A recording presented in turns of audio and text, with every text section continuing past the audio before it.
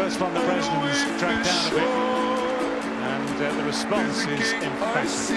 Really, really good shot. Basically, the square the wicket short to the length. That shot. Leave that.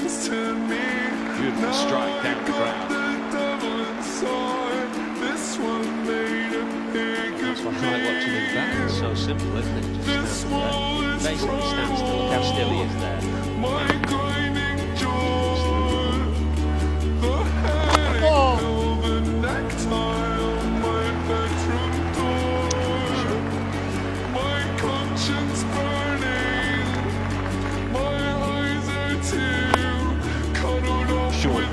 Back cut really played nicely under real control.